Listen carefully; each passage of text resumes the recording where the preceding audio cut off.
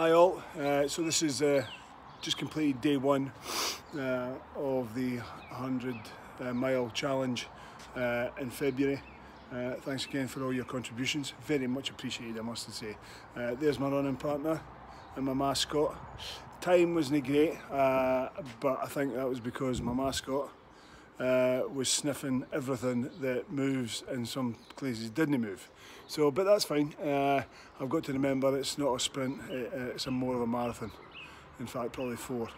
Uh, so my time, uh, sorry, my distance, uh, I was planning on 6Ks today, uh, but I've done 8.60. So ahead of schedule, but again, it's, a, it's only day one, so I've got a long way to go. I think that was 5.25 miles.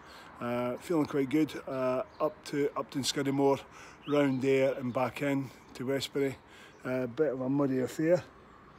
Uh, uphill, downhill, cross glens and all that sort of stuff, but really good. So uh, I'm not going to post this uh, a video every day, but I just wanted to say again, thank you very much. Great charity, uh, Bone Cancer and indeed any cancer charities are, are, are, are phenomenal.